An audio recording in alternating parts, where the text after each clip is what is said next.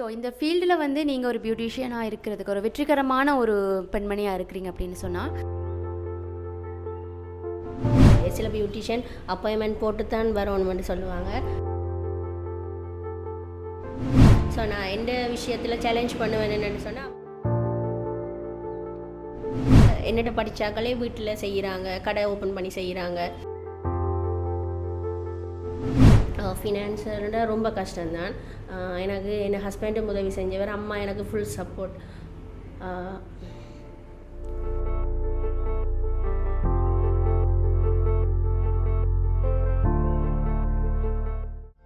அருந்ததி வழங்கும் lady boss season two Arundhathi இணைய திருமண சேவை.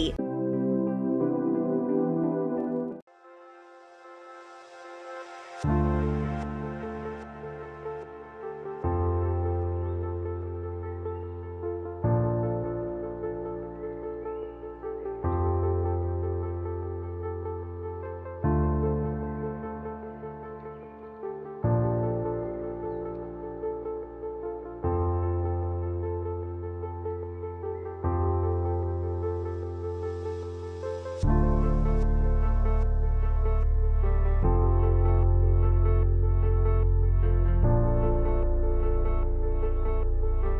லேடி பஸ் சீசன் டூவோட இணைஞ்சிருக்கேன் ஸோ இன்றைக்கும் வந்து எங்களுடைய ஒரு லேடி பஸ் இணைஞ்சிருக்காங்க. லேடி பஸ் அப்படின்னு சொல்லும்போதே உங்களுக்கு எல்லாருக்குமே தெரியும்.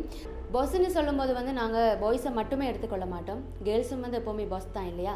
ஸோ இந்த மாதிரி தன்னுடைய துறையில் சிறந்து விளங்குகின்ற பெண்களை தான் வந்து நாங்கள் அந்த லேடி பஸ் அப்படின்ற சீசனின் ஊடாக நாங்கள் இன்டர்வியூ பண்ணிட்டு வரோம். ஸோ இன்றைக்கும் அந்த மாதிரி எங்களுடைய ஒரு லேடி பஸ் இணைஞ்சிருக்காங்க. ஸோ அவங்கள நாங்கள் மீட் பண்ண போகிறோம் அவங்க வந்து டிஷி கௌதமி கிட்டத்தட்ட செவன் இயர்ஸாக இந்த ஃபீல்டில் இருக்காங்க. ஸ்டைலிஷ் பியூட்டி பார்லர் அப்படின்னு சொல்லி அவங்க பியூட்டி சலூனை வந்து அந்த பியூட்டி சலூனுடைய உரிமையாளராக இருக்காங்க. ஸோ அவங்களுடைய கடந்து வந்த பாதைகள் அண்ட் அவங்களுடைய ஒப்பீனியன்ஸ் இந்த ஒர்க்கில் அவங்க எப்படி ஷைன் பண்ணுறாங்க போன்ற விஷயங்களை வந்து நாங்கள் அவங்கள்ட்ட கேட்டு தெரிஞ்சுக்கொள்ளலாம். ஸோ இவங்களுடைய beauty parlour KKS road Divya மகாலுக்கு பக்கத்தில் இருக்குது. அண்ட் நீங்களும் இங்கே வந்து அவங்களுடைய சர்வீஸை பெற்றுக்கொள்ளலாம். Hi Rishi Gowthami hi so இந்த ஃபீல்டில் வந்து நீங்கள் ஒரு பியூட்டிஷியனாக இருக்கிறதுக்கு ஒரு வெற்றிகரமான ஒரு பெண்மணியாக இருக்கிறீங்க அப்படின்னு சொன்னால் மற்ற பியூட்டிஷியன்ஸ்கிட்ட இருந்து என்ன குவாலிஃபிகேஷன் உங்கள்கிட்ட பெஸ்ட்டாக இருக்குது? அதனால தான் நான் இந்த ஃபீல்டில் இருக்கிறேன் அப்படின்னு சொல்லி நீங்கள் நினைக்கிறீங்க? பெஸ்ட்டாக இருக்குன்னு சொன்னால் கஸ்டமரோட சிறந்த முறையில் கதைச்சு அப்பாயின்மெண்ட்ஸ் அதுகள் இப்போ சில பியூட்டிஷியன் அப்பாயின்மெண்ட் போட்டு தான் வரணும்னு சொல்லுவாங்க. நான் அப்படி இல்லை. கஸ்டமர்கிட்ட பிரச்சனையெல்லாம் தெரிஞ்சுக்கொண்டு இப்போ ஞாயிற்றுக்கிழமையிலையும் செய்யணுமாக்கா கட்டாயம்னு சொன்னேன். இப்போ அந்த ஒரு விஷயத்தில் நான் சில சில விஷயங்களை விட்டு கொடுத்து செஞ்சு செய்கிறபடியாக ஓகே எனக்கு இது ஒத்து ஆமாம் இந்த துறையை பொறுத்த வரைக்கும் வந்து கஸ்டமர்ஸோட சாட்டிஸ்ஃபேக்ஷன் அப்படின்றது முக்கியம் இல்லையா? ஸோ அதுக்கேற்ற மாதிரி இருக்கிறது வந்து ஒரு பெஸ்ட் குவாலிஃபிகேஷனாக கருதி ஸோ உங்கள்கிட்ட வந்து பலதரப்பட்ட கிளைண்ட்ஸ் வருவாங்க. அந்த கிளைண்ட்ஸை வந்து நீங்கள் எப்படி ஹேண்டில் பண்ணுறீங்க அதாவது ஹேண்டில் பண்ணுறதுல இருக்கிற சவால்கள் என்ன? கிளைண்ட்ஸ்ன்னு சொன்னாடா இப்போ கஸ்டமர்னு சொன்னால் ஒரு ஒரு விதத்தில் வருவாங்க. சில பேர் அவைட்டு அவையின் சுச்சுவேஷனை நாங்கள் தெரிஞ்சு கொண்டு அவங்களோட நான் கொஞ்சம் கூட மூவ் பண்ணுவேன். என்ன சுச்சுவேஷனில் வருவாங்க அவைக்கு என்ன தேவை? எந்த விஷயத்தை மட்டும் நான் உள்வாங்காமல் அவங்கள்ட்ட இருக்கிற பிரச்சனையை கதைச்சிட்டு நான் அவங்களோட பார்த்து செஞ்சு கொள்ளுவேன். என்னென்னு சொன்னால் இப்போ எல்லாருக்குமே தனித்துவமான ஒரு ஒரு கேரக்டர் இருக்கும். எல்லா விஷயத்துக்காண்டியும் எல்லாருமாலையும் மாறி நடக்க இல்லாது ஸோ நான் எந்த விஷயத்தில் சேலஞ்ச் பண்ணுவேன் என்னென்னு சொன்னால் அவங்க கஸ்டமருக்கு ஏற்ற மாதிரி நான் எந்த விஷயத்தை மாற்றிக்கொள்வேன் என்னோட கேரக்டரை மாற்றிக்கொள்வேன் இப்போ லேட்டானாலும் சரி இப்போ நான் நாலு மணிக்கு வர சொன்னால் நான் மூன்றரைக்கே வந்து நிற்பேன் ஸோ அவங்க லேட்டாக வருவாங்க. ஸோ அந்தந்த விஷயம் சில சில விஷயங்களை நான் அட்ஜஸ்ட் பண்ணி போய் கொண்டிருப்பேன். அது அவங்களோட என்ன மூட்டில் வாராங்க. அப்போ அந்த விஷயத்தில் பார்க்கும்போது நான் அவங்களோடையே சேர்ந்து அதை கதைச்சி செஞ்சு கொள்ளுவேன் அந்த விஷயம் எனக்கு பெட்டராக இருக்கும். அது எனக்கு ஒரு பெரிய சேலஞ்சாக இருக்கும். ஓகே. ஸோ சேலஞ்ச் எல்லாத்தையும் தாண்டி வந்து இந்த துறையில் வந்து எல்லாருமே ஒரு இடத்தை பிடிக்கணும் அப்படின்றதே ஒரு பெரிய சேலஞ்ச் தான் இல்லையா? ஓகே பியூட்டிஷியன்ஸ் அப்படின்ற ஒரு துறையை வந்து நீங்கள் தேர்ந்தெடுக்கிறீங்க. இந்த துறையை நீங்கள் தேர்ந்தெடுக்கிறதால உங்களுக்கு கிடைக்கக்கூடிய பெனிஃபிட்ஸ் என்ன? பெனிஃபிட்ஸ் என்னென்னு சொன்னால் எனக்கு நிறைய பேரை தெரிய வருது. நிறைய பேர்கிட்ட நம்பர்ஸ் அதுகள் அறிமுகமாகுது. அடுத்த ஒரு இடத்துக்கு போவைக்க எனக்குண்ட ஒரு மரியாதை எனக்குண்ட ஒரு பேர் ஒன்று இருக்குது ஸோ அப்படியான விஷயங்கள் எனக்கு கொஞ்சம் பிரியோசனமாக இருக்குது ஃபினான்ஸ் அப்படியான விஷயங்கள் கொஞ்சம் எனக்கு சப்போர்ட் பண்ணினோம். அது நிறைய விஷயங்கள். ஏன்னா தனித்துவமாக பார்க்கும்போது என்ன எல்லாருக்கும் ஒரு இடத்துக்கு போகும்போது நான் குறிப்பாக ஒரு இடத்துல தெரியப்படுத்துகிறேன் என்ன புரியும்பா தெரியுது. ஸோ அந்த விஷயத்தில் நான் சந்தோஷப்படுறேன் ஸோ பியூட்டிஷியனாக இருக்கிறதால வந்து பல நன்மைகள் இருக்குது. ஸோ இந்த துறையை பொறுத்த வரைக்கும் ஸ்டடீஸும் இருக்குது. அண்ட் ஸ்டடீஸை மட்டும் இல்லாமல் எக்ஸ்பீரியன்ஸை வச்சும் இருக்குது. இந்த துறையினுடைய ஒரு தன்மை அப்படின்னு சொல்லலாம். இப்போ நீங்கள் வந்து இதில் ஸ்டடீஸ் இம்பார்ட்டண்ட்டாக இருக்கணுமா? இல்லை எக்ஸ்பீரியன்ஸ் இருந்தாலே ஓகே அப்படின்னு நினைக்கிறீங்களா? அப்படின்னு சொல்ல போனால் ஸ்டடீஸ் முக்கியம். முதலாவது முக்கியம் ஸ்டடீஸ் அது பிறகு கட்டாயம் ரெண்டாவதுன்னு சொன்ன போனால் எக்ஸ்பீரியன்ஸ் கட்டாயம். ஸ்டடீஸ் இல்லாமல் எக்ஸ்பீரியன்ஸை வச்சு செய்ய இயலாது. அதனால் ஸ்டடீஸும் முக்கியம் ஆனால் எக்ஸ்பீரியன்ஸ் இன்னும் முக்கியம்? ரெண்டும் விஷயமும் என்னை பொறுத்த வரைக்கும் ஒரு முக்கியமான விஷயம். ஒரு பேஸ்மெண்ட்டாக வந்து ஸ்டடீஸ் இருக்கு. ஸ்டடீஸ் இருக்கும். எக்ஸ்பீரியன்ஸ் இன்னும் ஒரு அடுத்த கட்டப்படியாக இருக்கும். அதுவும் ஒரு வகையான குவாலிஃபிகேஷன் அப்போ பேசிக்கும் ஸ்டடீஸும் முக்கியம் எக்ஸ்பீரியன்ஸும் முக்கியம். என்னை பொறுத்தவரை ரெண்டும் ஒன்று தான் ஓகே ஸோ அடுத்ததான் நீங்கள் என்ன மாதிரியான ஃப்யூச்சர் பிளான்ஸ் வச்சுருக்கிறீங்க? இன்னும் நீங்கள் இந்த துறையில் ஜொலிக்கிறதுக்கு அப்படின்னு சொன்னால் எனக்கு நிறைய பேருக்கு கிளாஸ் கொடுக்கணும் நிறைய ஓடர் செய்யணும் அடுத்தடுத்த படிக்கணும் இன்னும் இன்னும் இருக்குது இன்னும் படிக்கணும். பட் நீங்கள் இப்போவே கிளாஸஸ் எல்லாம் சேர்த்துட்டு இருக்கிறீங்க இல்லையா? கிளாஸஸ் கொடுக்குறேன் நான் அறிவு கிளாஸஸ் கொடுக்குறேன் நான்.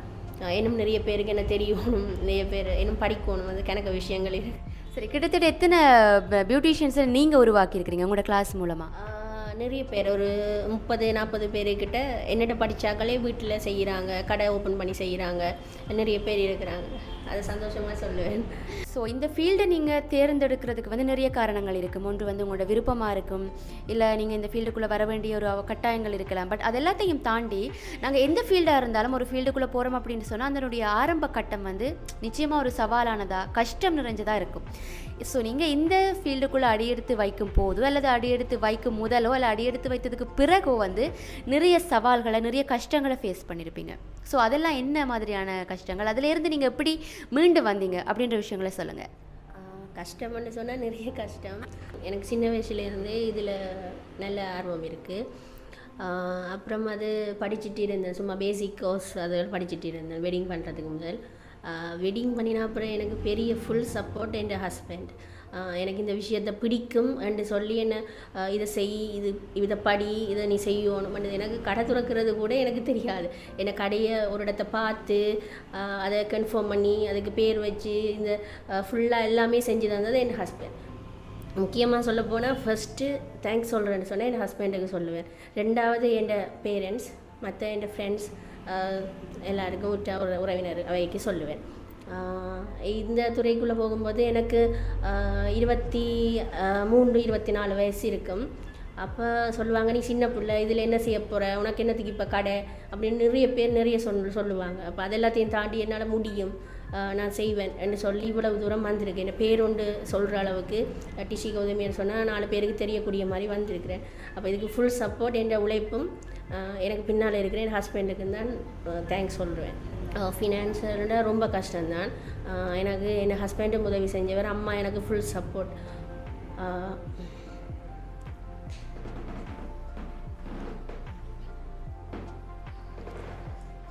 எஸ் ஸோ ஒரு ஃபீல்டுக்குள்ளே நாங்கள் வாரம் அப்படின்னு சொன்னாலோ இல்லை அதில் வந்து நாங்கள் ஒரு முன்னுக்கு வர்றோம் அப்படின்னு சொன்னாலோ வந்து நிறைய தடைகள் இருக்கும் நிறைய சப்போர்ட்டும் இருக்கும். ஸோ இந்த ரெண்டையும் நாங்கள் எப்படி ஹேண்டில் பண்ணுறோம் அதிலேருந்து எப்படி வாரம் நல்லதுகளை எப்படி எடுத்துக்கொள்கிறோம் கெட்டதுகளை எப்படி நாங்கள் கணக்கெடுக்காமல் வாரம் அப்படின்ற விஷயங்கள் தான் ஒருத்தருடைய வெற்றியை தீர்மானிக்கிறது. அதை தாண்டி உழைப்பு அர்ப்பணிப்பு இப்படி நிறைய விஷயங்களை சொல்லலாம். ஸோ இந்த மாதிரியான விஷயங்கள் மூலம் இப்போ ரிஷி கௌதமி ஒரு தனி இடத்தை பிடிச்சிருக்காங்க அப்படின்னு சொல்லலாம். அது மட்டும் இல்லை டிஷி கௌதமி எங்களோட சில வருடங்களாக பயணிச்சுட்டு வராங்க. அருந்ததியினுடைய பிரைடல் ஷோவிலையும் பார்ட்டிசிபேட் பண்ணி அவங்களுடைய கிரியேட்டிவிட்டி அவங்களுடைய டேலண்ட்ஸை வந்து வெளிப்படுத்தி இருந்தமையும் குறிப்பிடத்தக்கது. ஸோ இதை மாதிரி நிறைய லேடி பர்ஸை வந்து நாங்களும் உங்களுக்காக அறிமுகப்படுத்துறதுக்கு தயாராக இருக்கோம். தொடர்ந்தும் அருந்ததியினுடைய த லேடி பர்ஸ் நிகழ்ச்சியோடு இணைஞ்சிருங்க. இரண்டாயிரத்து பதினான்காம் ஆண்டு முதல் ஆயிரக்கணக்கான திருமணங்களை வெற்றிகரமாக நடாத்திய அருந்ததி இணைய திருமண சேவை மூவாயிரத்துக்கு மேற்பட்ட மணமக்களிலிருந்து உங்களுக்கு பொருத்தமான வரன்களை தேர்ந்தெடுக்க இன்றே அலையுங்கள். சைபர் ஏழு ஏழு ஏழு பதினாறு நாற்பத்தைந்து இருபத்தி நான்கு W W W dot Arundhathi dot com